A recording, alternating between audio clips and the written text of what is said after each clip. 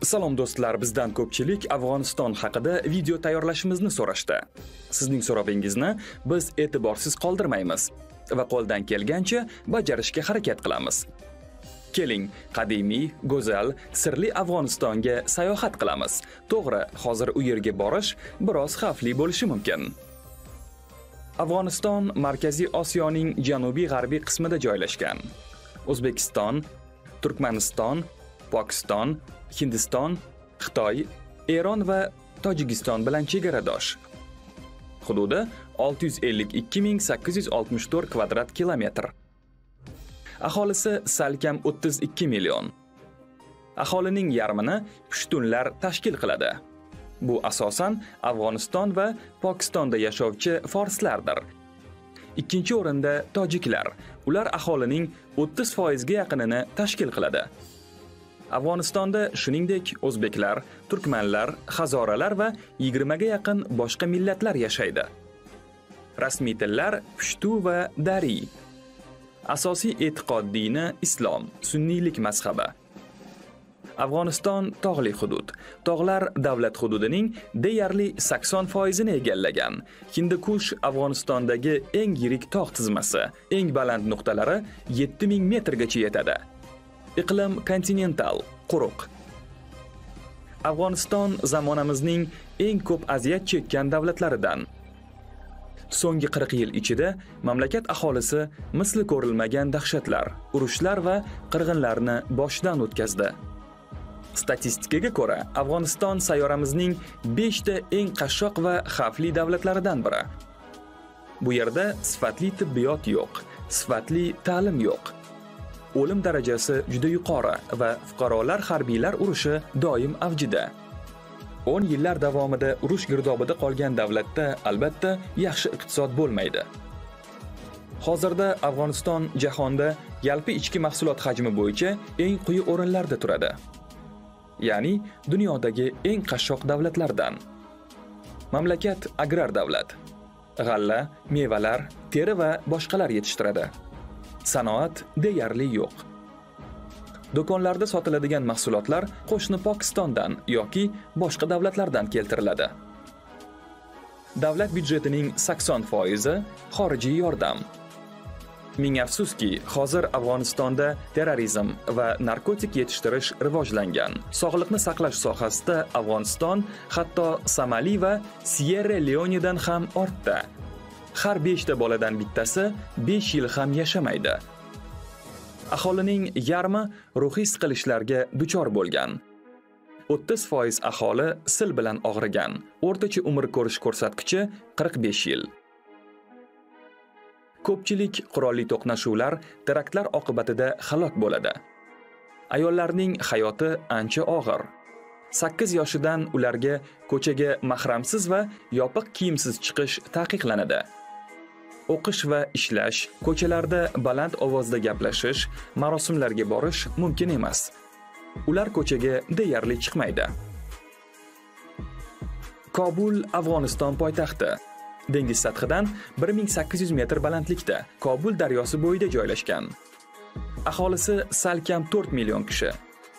Hatto poytaxtga kelib ham davlat qanchalar qashshoqlik va beqarorlikni boshdan kechirayotganini ko'rish mumkin. Shaharda hanuzgacha bir qavatli suv va elektr yetib bormagan uylar ko'p.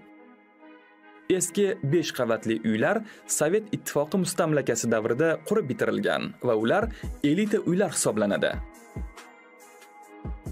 Shahar Afg'onistonning eng yirik shahri, Kobul bozori. Mana haqiqiy qiziqarli va rang-rang joy. Rastalar, do'konchalar, ustaxonalar, choyxona, kabobxonalar qator bo'lib cho'zilib ketgan. Bu yerda barcha narsa sotiladi. Turli mahsulotlar, ziravorlar, teri mahsulotlari, tosh buyumlar, yoqqichlar, ustara uchun keskir tig'lar, tugmachalar, tova, tog'orachalar. Qisqasi, Kobul bozori deyarli barcha narsa topiladigan ulkan gipermarketdir. Mahalliy aholida shunday hazil bor. Agar siz Kobul bozorida izlagan narsangizni topolmasangiz, demak, u hech qayerda mavjud emas. Qandahor qiziqarli, ammo xavfli shahar. Bu yerda hanuzgacha Tolibonlar va afg'on harbiy kuchlari o'rtasida qurolli to'qnashuvlar bo'lib turadi. Qandahor Kobuldan ham qadimiyroq. Unga eramizdan avvalgi 330-yilda asos solingan. Bir qancha vaqt u poytaxt bo'lgan. Qandahor mahalliy savdo markazi. Bu yerda tarixiy Chorsu maydonida joylashgan 4 ta yirik bozor mavjud. Maydonda ulkan jome, Mo'yi Muborak ham joylashgan. Xirot Afg'oniston g'arbida joylashgan tarixiy va mashhur shahar. U ajoyib bog'lari, qadimiy madaniyati va sufiylik an'analari bilan nom chiqargan. Qadimda Xirotdan buyuk Ipak yo'li o'tgan. Aleksandr Makedonskiy davrida u Aleksandriya Ariana nomini olgan. Shaharda tarixiy obidalardan Aleksandr Makedonskiy davridan qolgan qal'a, Gavhar Shodbegim maqbarasi va Juma jomiy masjidi bor. Mozori Sharif kattaligi bo'yicha 4-o'rindagi shahar.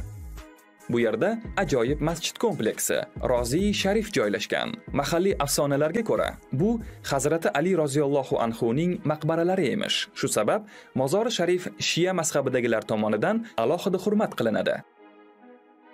Ko'plab tarixchi va tadqiqotchilarning fikricha, Mozori Sharifda Zardushtiylik e'tiqodi asoschisi Zardushtning ham qabri mavjud. Terakt va qurolli to'qnashuvlar Afg'onistonda vaziyat hanuz notinch ekanini eslatib turadi. Doimiy qo'rquv afg'onlar hayotining bir qismiga aylanib qolgan.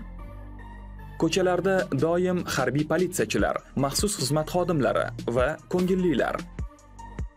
Mamlakatda har yili 50 dan ortiq teraktlar yuz beradi. Odam o'g'irlash ham avj olgan. Afsuski, bu hol 40 yildan beri davom etmoqda. Tinch hayot degan tushunchadan bexabar butun boshli avlod shakllanib bo'ldi. Ming afsus, yaqin kelajakda ham mamlakatda tinchlik o'rnatilishi juda mavhum. Ammo bu mamlakatning o'z go'zalligi, obidalari bor. Banda Amir dengiz sathidan 3000 metr balandlikda, mamlakat markaziy qismida Hindikushda joylashgan 6 ta Firuza ko'ldan iborat zanjir. Ko'llar bir-biridan qoyalar va toshlar bilan ajralgan. Ular manzarani boyitib, suvga yorqin moviy tus berib turadi. Jom minorasi balandligi 65 metrlik, ajoyib, yaxshi saqlangan 12-asr yodgorligi. Balandligi bo'yicha Hindistondagi Qutb minoradan keyingi ikkinchi o'rindagi tarixiy minora. Qadimiy Feruzkoh shahridan qolgan yagona yodgorlik hisoblanadi. U pishiq g'ishtdan ishlangan bo'lib, minorada ajoyib tasvirlar va Qur'on oyatlari bitilgan. Davlatni kelajakda nimalar kutmoqda? Bu savolning javobi ko'plab faktorlarga bog'liq. Bir narsani aniq aytish mumkin. Jangovar harakatlarni butkul to'xtatilmasa, rasmiy hukumat tomonidan hududda tinchlik o'rnatilmasa, mamlakat uchun mo'tadil kelajak yo'q. Videoni tomosha qilganingiz uchun rahmat do'stlar. Bizni doim kuzatib boring. Va izohlarda bizdan qanday video kutayotganingiz haqida yozib qoldiring. Sizning fikringiz biz uchun juda muhim.